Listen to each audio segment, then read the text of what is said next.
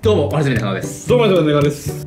初回新規事業プレゼン選手権もう我々ももう御年30になるそうということで、や っまあもう、ええ年ですよ。ぱ YouTuber に代わるね、次なる新規ビジネスを考えていかないといけない。まあ、それはもちろんそうですよ。まあというわけでですね、今回は UT グループさんというね、まあ会社の、まあ、面接をされる方々に協力をね、してもらって、プレゼンするプレゼンするということですね。はいはいはい。というのをちょっとやってみたいなと。はいというわけで、ライブバズオフィスユッティ。ユッティ。UT やからね。UT やからユッティ。はい、ではどうぞ。失礼します。ではまずお名前をどうぞはい、えー私は花尾と申します。現在は、えー動画編集事業と、えーアパレル事業などを行っております。はいそれでは今回のあなたの希望金額と出資形態をお願いしますはい、希望金額は12計8060兆円を現金一括払いでお願いします。はいそれではあなたが思い描く未来の姿は？この世の摩擦を全てゼロにして、計算が楽な世界を実現したい。それって、な、なんですか？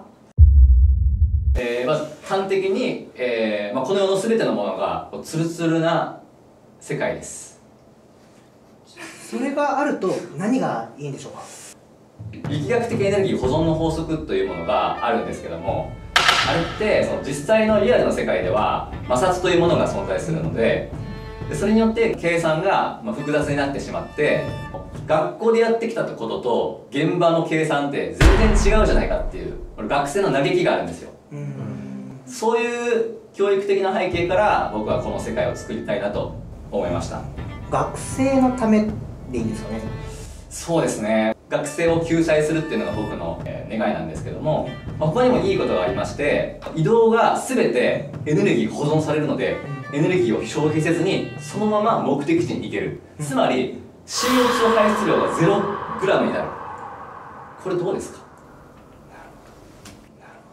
これはもう全世界の悲願でもあると思っております学生のためってところがスタートだと思うんですけど、はい。それを解消したいっていうところに向かったのは何でですか？うんやはりその受験というのはですねうん。計算の一つのミスがうん。人生を大きく変えるわけです。うんうん実力はあるのにたった一つのその取得演算のミスで人生大きく変わった人だって5万といるんですよ。でそういう人を本当に救いたい。うんうん。それが僕の生まれた意味ですよね実力が反映できることで公平にしたい摩擦というのは非常にね厄介なんです。自分の周りにこうまとわりつくこの今僕が仰いだら風が来るですよね。風来ますよね。これ邪魔なんですよ。一生懸命汗水垂らして働いたお金で旅行に行きたい。でもそれがたった天候の一つによって楽しさが大きく分かれる。イラつきますよね。そうですね、すごく。そうですよね。しかもつまりですよ空気抵抗をゼロにするとそもそも天気変わらないんですよ。天気という概念すらなくなる。スノースポーツとかはどうですか？うーんまあ人工雪がありますから。ちなみに人工雪発生させる時の摩擦は？うーん摩擦。そもそも摩擦ないんで雪いらないですよ。滑っちゃうね。概念としてそれは実際どうやって実現されようと思われてるんですか？まずステップ1として山を全部切り取りますよね。スパッ。と、えーその後言うたらどういうふうにスベスベにするか。えーまず1つ目が油膜圧着方式。はい。平らにしたところに鉄板を敷き詰めましてうん。そこに油脂を敷きます。はい。鉄板敷き詰めるって話もあったんですけど、はい。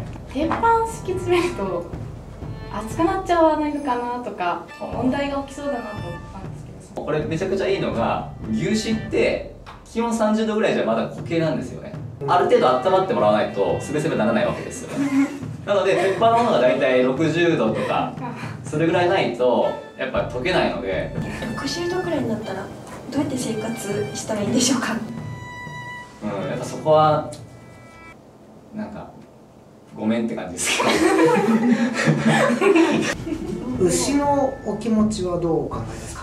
日本全土を油で敷き詰めるのにですね40兆キログラムの牛脂が必要だというデータがありまして、まあ、それでも6000億匹の牛牛牛が必要で今全世界では15億匹の牛がいるのであと、まあ、5985億頭の牛がいります牛の気持ちとしてはでも繁殖できていいんじゃないですかね。ああなるほど。えすいません。牛脂を作るってことは牛さんって殺しちゃうのまあその辺はあまり深掘りさせていただきたくないポイントではあるんですけども、牛の食べる飼料はどこから調達しますか？草は全部切り倒してしまって鉄板になっている。確かにそれ盲点ですよね 牛だけで盲点なるほど。今気づきました。今気づきました。私たちだけのメリットとかってありますか？あの誰が得するかっていうところで言うとまあ陸上競技場の選手ですね。これ 100m とかバチバチ速くなると思うんですよね。競技性の良さとか消えちゃうんじゃないかなって思うんですがそこはどうお考えですか？でも楽しいのが一番大事だと思うんですね。そのそもそもなんか他人とねこう競争する優劣を図る。これは人間関係の摩擦を見ますよね。そういうのをなくしたい。競争をなくしたい。はい。ありがとうございました。ありがとうございます。ありがとうございますはい。ではどうぞ。失礼しますえーそれではまずお名前からどうぞ。はい、えー、花尾伝願の伝願と申します、えー現在は YouTube 事業と教育事業をやっております。株式会社伝願のと、えー代表取締役でございます。よろしくお願いします。えーそれでは今回の出資希望額と出資形態をお願いします。出資希望額は300億円でキャッシュレス決済でお願いしたいと思ってます、それでは、はい。あなたが思い描く未来はえー私は世界からレベル上げという文化をなくしたいですそれではレベル上げをなくすということでしたが、はいはいちょっと具体的に教えていただけますでしょうか？はい、今ですね、今よこれ、レベル上げというのはあのゲームの世界のレベル上げですね。まあ、皆さんも昔ゲーム多分されたことあると思うんですけども、まあそういう時に非常に無駄な時間っていうのがあるんですよ。あなんとこいつが倒せないなと。倒せないからレベル上げをしようって多分なったことおありある方だと思うんですけど、あの時間って8割の人が多分楽しん楽しんでないと踏んでおります。現在も結構そのような学生と学生または子どもたちが多いのではないかなと思いましてそのようなまずレベル上げというもの自体を我々が代行させていただく、まあ、そのようなサービスを立ち上げさせていただきました。でですね子どもたちの時間にも有限なんで学校に行ってるんだけどその間に成長している。これは非常に日本の学生にとって非常に未来がある行為なのではないかと思っております。具体的に利益を出すのはどういった仕組みでいやよくぞお聞きございました。答えはですね。まずデータがございます。ゲームに課金する金額。というのが平均で約5000円というデータが出てるんですよね。1人当たり。あ一月です。一月。ですからですねあのこの金額よりも安い金額でこのサービスをすることができれば意味のあるサービスなんじゃないかとまず思いました。そしてですね今回えー今回弊社がですね、えー新たな関数開発いたしました。こちらでございます。はい。えー弊社独自開発のもういいや関数ですね。レベル上げをしようとしてて、もういいやってなった経験ないですか？ゲームを投げ出してしまった経験。まあ、それに基づいて付けられた名前、かつ、マネーの MO118、もういいや。こちらでございます。ありがとうございます。つまりですね、顧客からいただくお金というのをですね、関数に応じて計算させていただきます。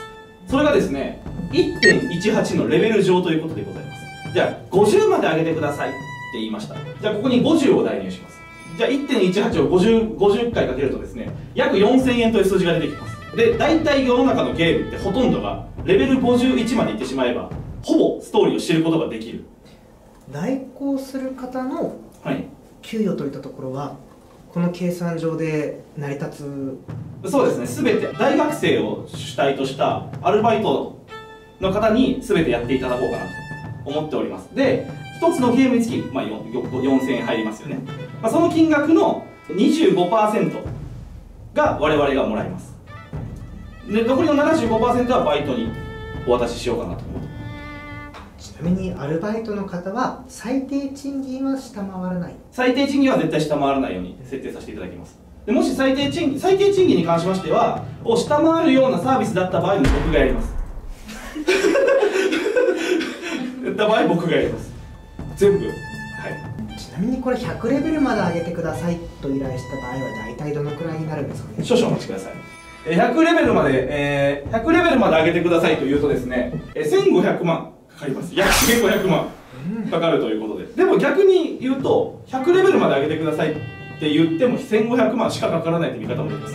レベルを上げていく時の、はい。例えばキャラクターが進化した姿とかはいはいはいレベルをこうやって積み上げてるからこそ感じ取れるものなのはいはいはい。なんですけどそれを全部任しちゃった時にレベルが進化した時の得たものとかが全部ないまま来るんだ。あそういう方は、はい。えっ、と我がサービスを利用しない方がいいと思います。そういう方は。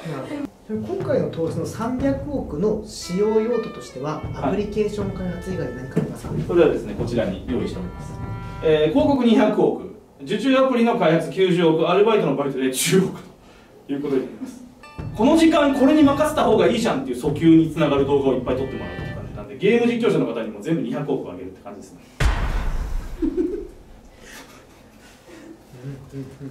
そもそも少し気になったのが、はいアカウントの譲渡はいとかっていうのは結構ゲームによっては禁止ってしてるようなイメージがあったりだとか、はい。世の中では結構チートって呼ばれたりするんではないかなってところに引っかかるんじゃないかなってちょっと思ったんですけどその可能性は大いにあります。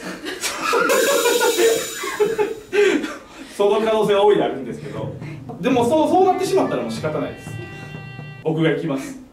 彼らの家に彼らの家に行くしかないそれは。これを変えるために、まあ、一つ確かにそのねあるんですよそれ。法律上の問題あるかもしれない。確かにあるけど俺は変えたい。俺は 変えたい俺は変えるためにどうするか。僕はそのユーザーの家に行きます。はい。その子たちを救いたい。この気持ちに皆さんが共感したのかどうか。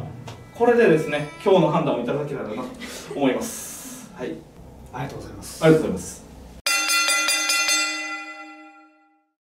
はい、えーそれでは今回のお二人のプレゼンに対してえー私たちも慎重に審議をいたしました、はい。えーその結果結論としましては2人ともに融資をさせていただきます。ありがとうございます。ありがとうございます。で金額としましては、えー私たちから提示するのはこちらの額となります。24万ウォン。24万円です。あ24万 私たちの会社の新卒の初任給。あなるほどなるほどなるほど。ありがとうございます。ありがとうございます。あでも僕僕目標金額にはもう1外円ぐらい足りなかったのでお僕も目標金額で299億円ぐらい。でまあ、内容としましてはお二人ともですねあのすごく思いが伝わりました。それが実現できるかどうかというよりもなんでそこをやりたいと思ったかといったところに非常に共感しました、まあ、私たちの会社にはですねあの自分たちがこういうことをしたいというものがあった場合には誰でも手を挙げていいよっていう制度をたくさん作っているんですね。なのでまず一番最初のスタートとしてはこちらから。あそこから先は無限という形でですね。無限。無はい。限。ありがとうございます。ありがとうござい。ますありがとうございます。提唱させてください。あのでは逆にですね質問させていただきたいんですけれども UT グループさんというのはどういったところが特徴的な派遣会社さんになるんでしょうか？ゆっくりでいいですよ。質問ありがとうございます UT グループがやっているものとしては無期雇用派遣ということをやっておりまして UT グループ自体で雇用をさせていただいているので、まあ、働く場所っていうのは私たちお取引しているいろんな業界のいろんなお客様先のところに行っていただいて技術スキルを磨いていただくんですけれども雇用自体 UT グループでさせていただいているのでえっと定年までずっと安定して働いていただくことが可能になっているっていう点もございます。僕たちとは逆の世界ということですか？そういう感じです 安心ですよね。安心安この他にもですね、えっと弊社ではキャリアステップ。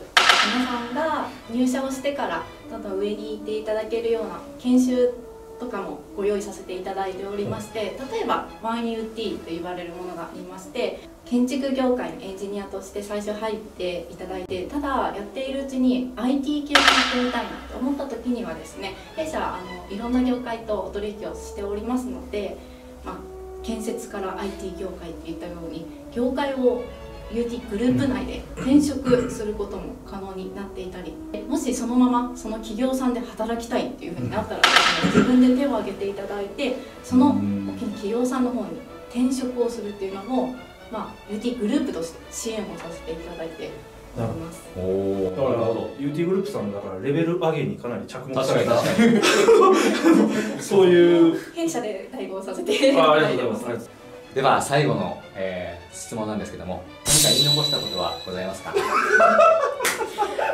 言い残した言い残したことあるな。あるある。あるここでなんか何もありませんよって落ちるやつね。ではありがとうございます地方で働けるっていうのは UT グループの特徴でして全国の、まあ、いろんな企業さんといろんなお客様先とお取引をしているのであのご希望のところであのお仕事を用意させていただけるってところも、まあ、他社さんにはあまりないところでもあるのかなと思いますのでここも UT グループの一つの特徴になっています。